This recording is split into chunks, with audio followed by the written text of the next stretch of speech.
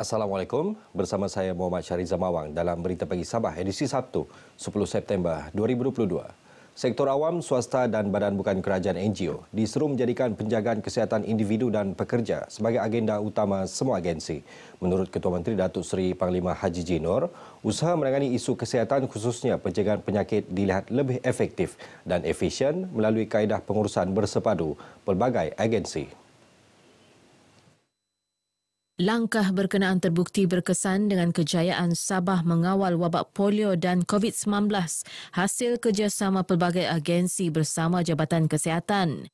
Cadangan mengintegrasikan aktiviti Kementerian Kesihatan dan aktiviti kesejahteraan rakyat oleh kerajaan negeri akan memperluas dan mempercepat perkhidmatan kepada rakyat.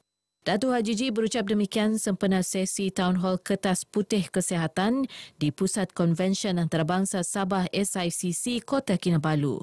Teks ucapannya disampaikan Menteri Pembangunan Masyarakat dan Kesejahteraan Rakyat Datuk Syahilmi Yahya. Menurut Datuk Haji Ji, Sabah berdepan pelbagai kekangan melibatkan perkhidmatan kesihatan antaranya peruntukan kewangan, fasiliti kesihatan dan sumber manusia yang terhad. Masalah pendatang tanpa izin dan individu tanpa kerakyatan yang agak tinggi juga menyumbang kepada penularan penyakit berjangkit di negeri ini. Sehubungan itu, beliau berharap sesi Town Hall ini memberi manfaat khususnya dalam pembangunan perkhidmatan kesihatan di negeri ini. Turut hadir dalam program Ketua Pengarah Kesihatan Tan Sri Dr. Nur Hisham Abdullah. Jaringan telekomunikasi di pulau berpenduduk serta pulau tumpuan pelancong termasuk di Sabah perlu dipertingkat segera. Menteri Komunikasi dan Multimedia Tan Sri Anwar Musa berkata ia memberi impak signifikan khususnya kepada penduduk setempat dan aktiviti pelancongan yang mampu menyumbang kepada pertumbuhan keluaran dalam negara kasar KDNK. Sekiranya kawasan berkenaan tidak termasuk dalam Pelan Jalinan Digital Negara Jendela, pembangunan telekomunikasi perlu dilaksanakan dalam projek khas yang akan diberi keutamaan. Walaupun mungkin di situ tidak ada penduduk, tetapi ada petugas-petugas uh, daripada uh, angkatan tentera yang duduk di sana sepenuh masa sepanjang tahun. Nah, misalnya di Sipadan tadi, kalau secara teknologinya boleh kita tembak daripada menara terdekat kira 11 km sampai ke Sipadan maka saya nak tengok dengan segeranya di Sepadan perlu ada kemudahan coverage apa tu apa tu uh, broadband services di sana. Tan Sri Anwar ketika menyatakan perkara tersebut dalam sidang media di pos PGA Pulau Mabul Sempurna memberitahu beliau akan memastikan semua pulau pelancongan dan berpenduduk mempunyai pelan telekomunikasi pada tahap 100%. Dalam pada itu, jendela fasa 2 yang akan bermula 2023 hingga 2025 kini dalam proses menyiapkan dokumen tender. Sebahagian besarnya adalah bagi menyediakan satelit broadband di kira-kira 1,400 lokasi yang terlalu jauh, majoriti di Sabah dan Sarawak. Seramai 55 warga asing ditahan dalam operasi sapu dijalankan Jabatan Imigresen Sabah di kawasan rumah pekerja Batu 19 Sungai Tiram Sandakan pada Rabu lepas. Mereka yang ditahan termasuk 13 wanita dan 23 kanak-kanak atas kesalahan tidak mempunyai dokumen pengenalan diri yang sah. Menurut kenyataan pengarah imigresen Sabah Sharifah Siti Saleha Habib Yusof, operasi dijalankan kira-kira 1.10 minit pagi. Turut ditahan seorang lelaki warga negara Malaysia, 48 tahun, disyaki sebagai majikan. Dia disiasat di bawah Seksyen 55B Akta Imigresen 1959 Palang 63 kerana mengambil pekerja asing tanpa pas yang sah serta disyaki membenarkan imigran haram masuk dan berada di premis tersebut. Operasi diketuai Timbalan Penolong Pengarah Kanan Muhammad Ajman Ajmin bersama 54 pegawai imigresen dari Sandakan, Kota Kinabalu dan Tawau. Seramai 88 orang diperiksa dalam operasi berkenaan. Orang ramai dinasihati melaporkan kepada pihak berkuasa khususnya imigresen jika mendapati kehadiran parti di kawasan masing-masing. Sandakan dipilih sebagai lokasi sambutan Maulidur Rasul peringkat negeri Sabah 2022 Oktober depan. Sambutan bakal diisi dengan pelbagai pengisian termasuk perarakan sepanduk, forum perdana dan pertandingan khad. Menteri Tugas-Tugas Khas yang juga pengerusi jawatan kuasa induk sambutan Maulidur Rasul peringkat negeri Datuk Dr. Muhammad Arifin Muhammad Arif berkata dengan penggiliran dalam penganjuran acara besar di negeri ini memberi peluang seluruh masyarakat merasai kemeriahan perayaan peringkat negeri yang diraih. Sambutan Maulidur Rasul pada tahun ini uh, dipilih Sendakan dan kita yakin Sendakan uh, dapat melaksanakannya dengan baik karena Sendakan sebelum ini juga pernah menjadi tuan rumah majlis tilawah, tuan rumah sambutan uh, Maulidur Rasul sallallahu alaihi wasallam dan beberapa perayaan yang lain.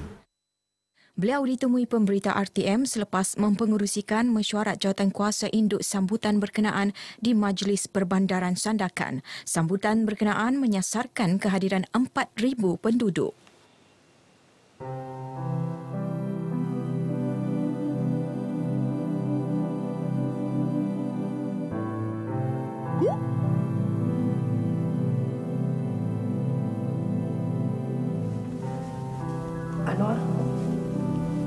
Kalau di tempat orang kena pandai buat diri tahu. Layan semua orang dengan baik. Eh, nak kau senyum-senyum tu? Eh, Roy, ada apa boleh saya bantu? Ah, macam ni, kalau kau free minggu depan, datang pergi rumah. Ada makan-makan di rumah. Okeylah. Ah. Terima kasih ya. Okey.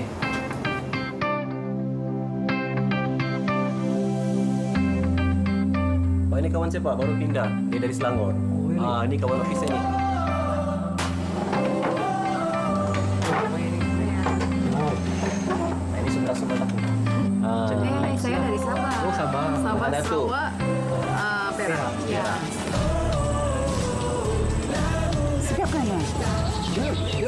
Tapi kena makan dengan ampau. Ah, ni kak. Saya dah masukkan sekali dalam. Wah, ada. Ha, makanlah. Mau, mau, mau, mau. Kak, makan sekali kak. Kita Ada makan je sekali. sana. sana. Oi, Yang kita tempat kita pergi hari tu. Ha, ha. Come on. Ui, ada sale. Ui, Iya. kenapa tidak bawa saya? Bah, nanti kita pergi. Kau nanti. ni. Kita nanti kita pergi ya. Hmm. Pergi betul kan tak betul. Itulah. Bang Anwar, nanti kau masak apa tu? Nasi ambang kan famous di Selangor tu. Kami pun mau juga bah rasa kan? Ya, bah. Boleh bah kalau kau.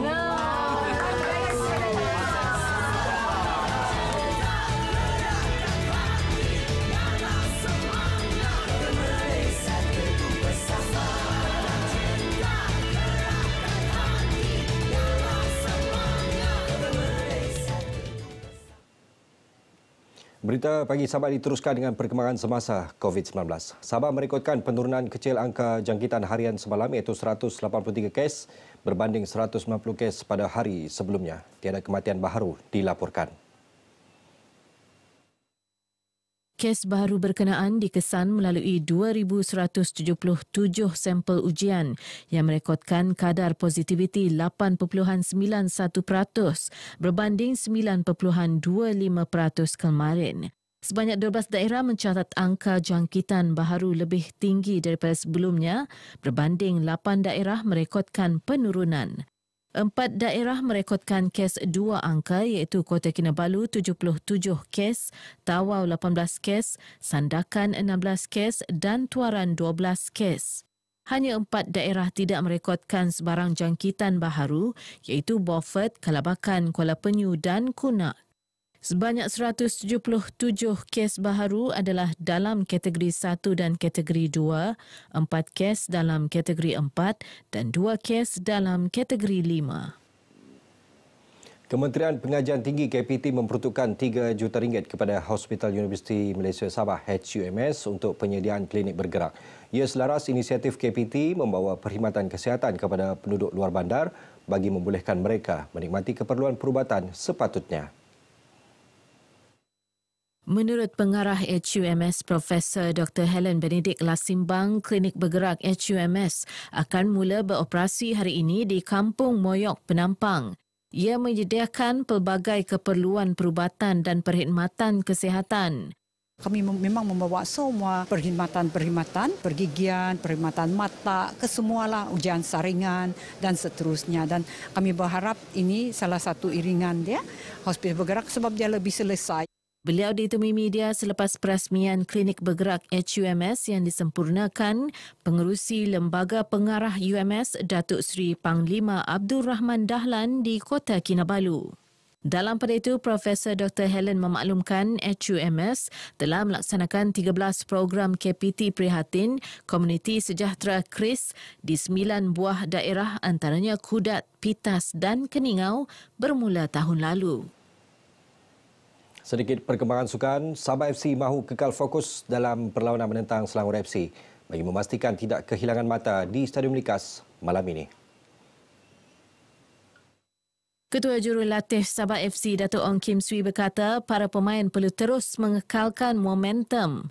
Setiap perlawanan target adalah untuk kemenangan ya, tiada istilah untuk seri ataupun keputusan yang negatif.